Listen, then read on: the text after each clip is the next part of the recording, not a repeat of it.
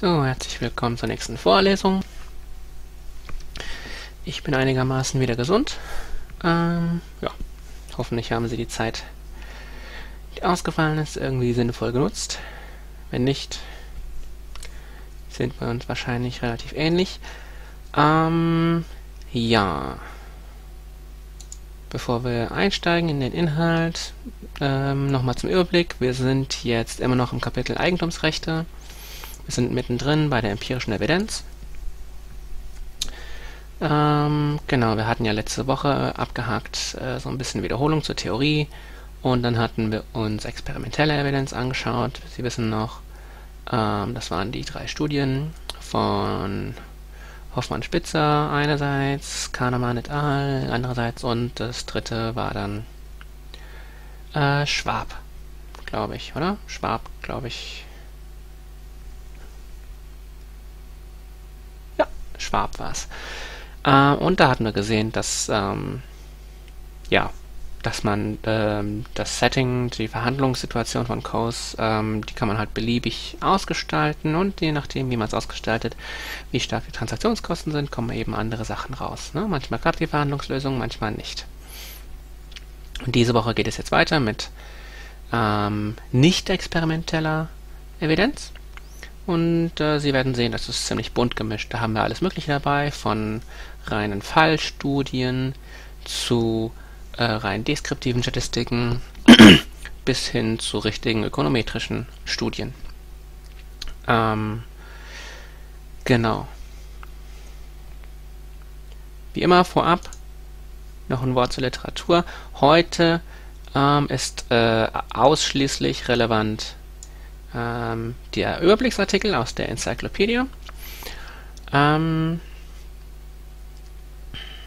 genau, und da hatten wir ja letzte Woche ähm, diese drei Studien schon abgehakt und jetzt steigen wir eben ein in die restlichen Studien. Ähm, nicht in der Reihenfolge, wie ich sie hier aufgeführt habe, sondern in der Reihenfolge, wie sie in dem Überblicksartikel auftauchen.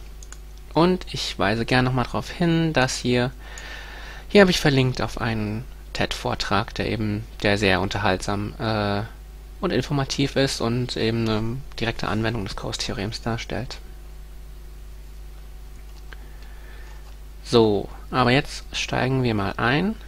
Wir waren hier bei der empirischen Evidenz zum Coase-Theorem, hatten die ersten drei experimentellen Studien schon abgehakt und steigen jetzt ein in äh, nicht experimentelle Evidenz. Ähm, ach ja, äh, was den Aufbau angeht, äh, ich, äh, ich habe mir überlegt, es könnte ganz nützlich sein, ähm, bei den Studien, wo Statistik vorkommt oder wo Ökonometrie benutzt wird, ähm, mache ich jetzt hier in der Vorlesung nur ähm, quasi äh, das, die, Besch die Beschreibung der Studie und was rauskommt und die Inter Interpretation und in der Übung äh, ähm, bereite ich Ihnen dann die, die expliziten statistischen Ergebnisse ähm, auf in der Übungsaufgabe. Ne? Dann, dann haben Sie direkt ähm, haben Sie mehr, da haben Sie eher was von, als wenn ich Ihnen hier jetzt äh, Tabelle äh, Tabellen zeige in der Vorlesung. Okay. Und äh, in der ersten Studie, die wir uns anschauen, ähm, untersucht Kenneth Vogel Vogel wahrscheinlich auf Englisch. Ähm, äh, die Studie ist von 87 und in dieser Studie untersucht Vogel äh, historische Daten zur Haftung bei Viehschaden. Ne?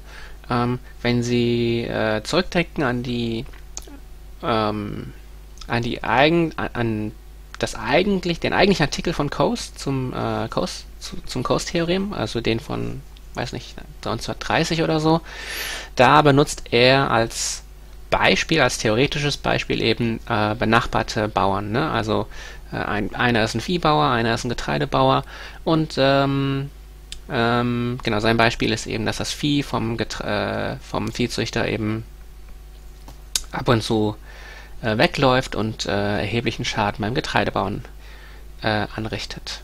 Und dann ist eben die Frage, wer, wer haftet und laut Coase-Theorem, wenn alle Annahmen erfüllt sind, dann ist es egal, wer haftet, nicht wahr? Äh, das ist ja die Invarianzthese. So, ähm, und genau um dieses Beispiel geht es hier äh, mit echten Daten und ein bisschen zum Background dieser Studie. Ähm, äh, es geht um Kalifornien, um das ganze Bundesland und, ähm, und zwar um historische Daten. Als Kalifornien nämlich 1850 als Bundesland in die USA aufgenommen wurde, da waren Bergbau und Viehzucht die zwei wichtigsten Wirtschaftszweige.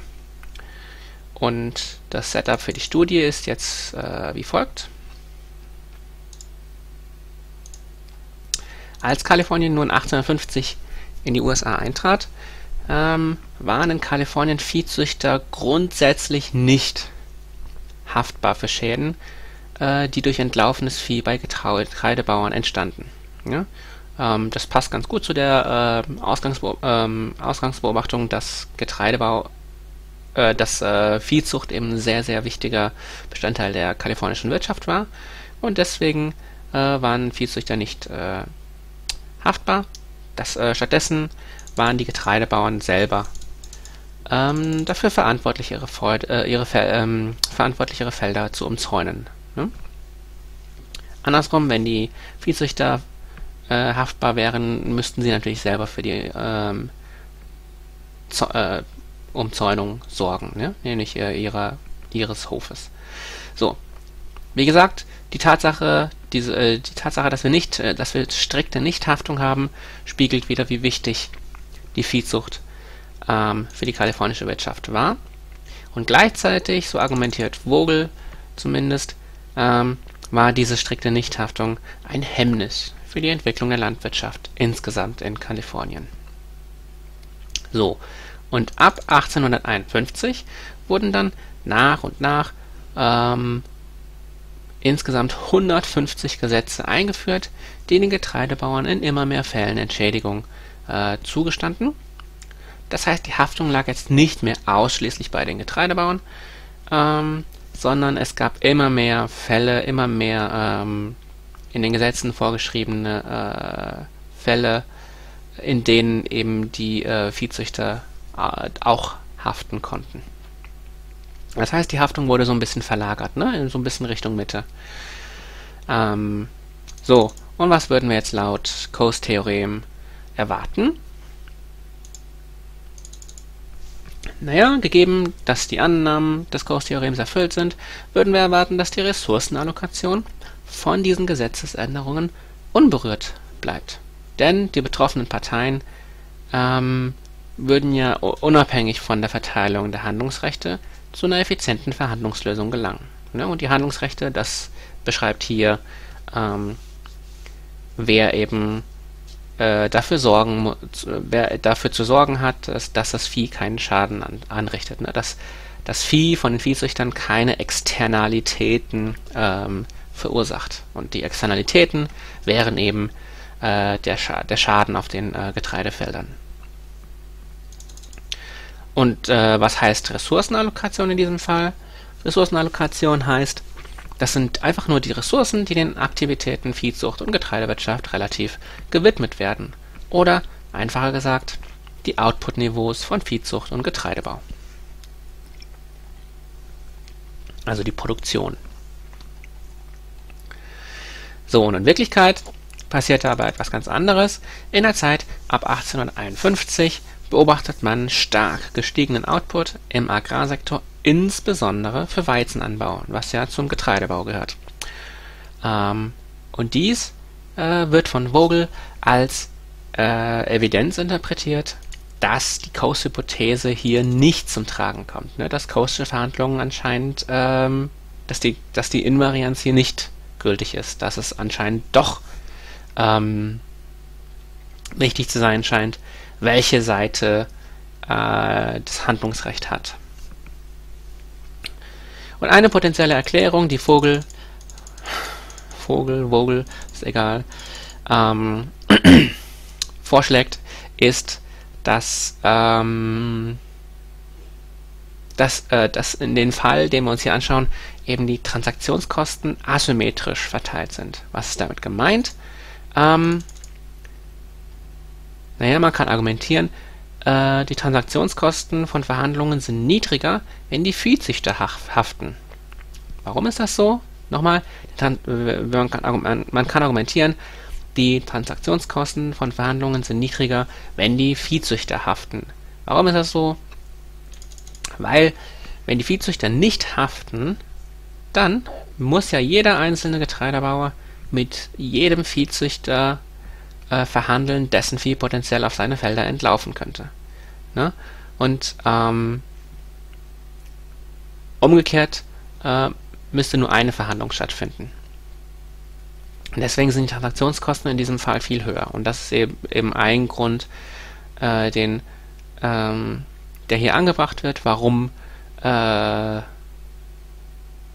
warum der Agraroutput vor, vor diesen ganzen Gesetzesänderungen äh, eventuell, äh, warum der niedriger sein, äh, gewesen sein könnte. Ähm, und eine Kritik, die ich noch anbringen würde bei dieser Studie ist, äh, dass es bei dem Ergebnis dieser Studie möglicherweise eine Scheinkorrelation ist. Ne? Ähm, dass wir es möglicherweise mit einer Scheinkorrelation zu tun haben. Ähm, was ich genau damit meine, können Sie sich vielleicht schon denken.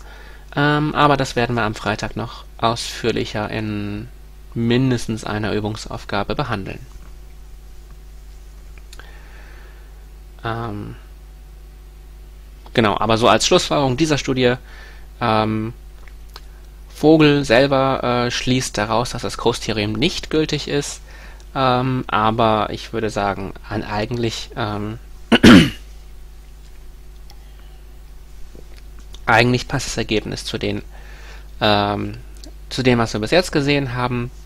Ab einem bestimmten Grad von Transaktionskosten funktionieren kausische Verhandlungen einfach nicht mehr.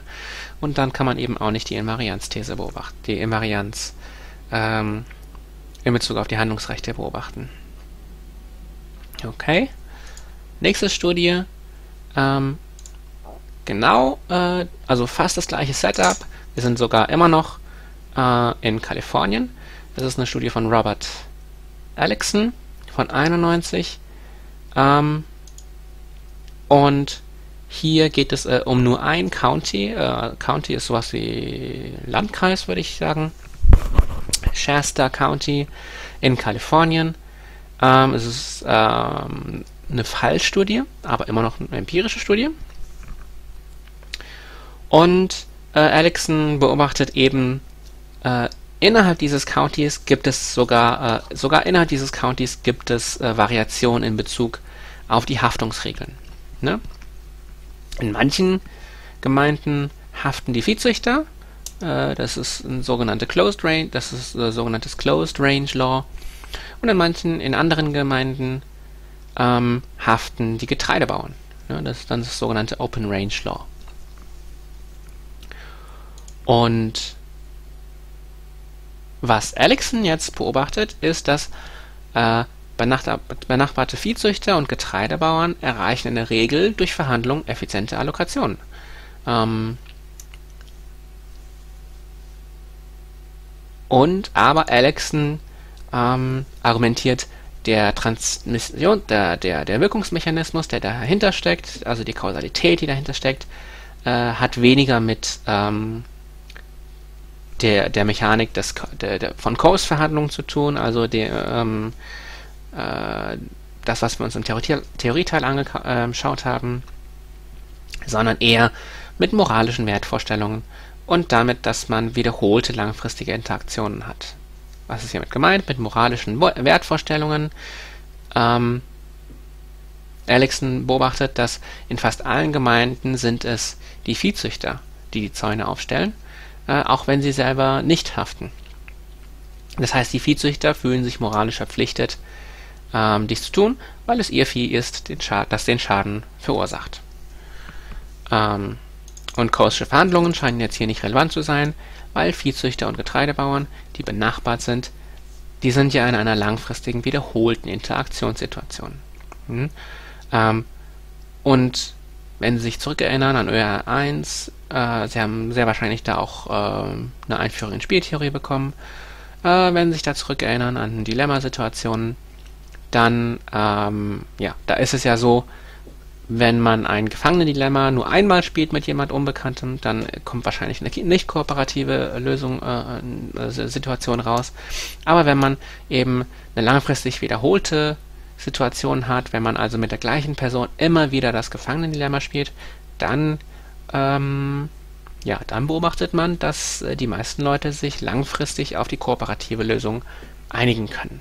Ne? Und da, da, da, das hat natürlich auch mit äh, moralischen Wertvorstellungen zu tun, mit Werten und Normen, äh, mit, äh, genau.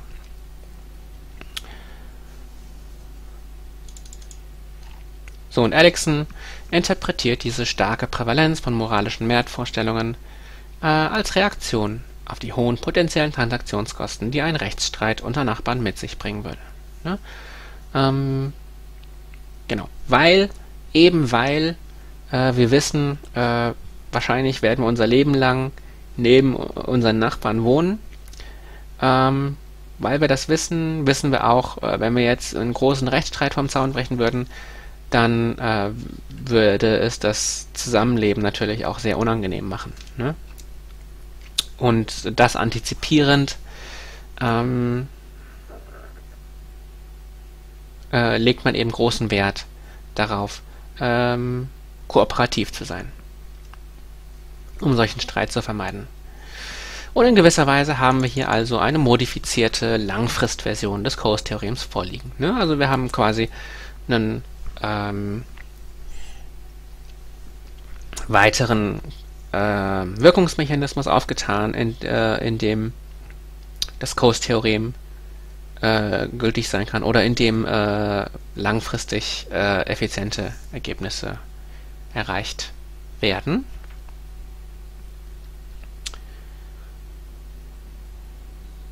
Genau.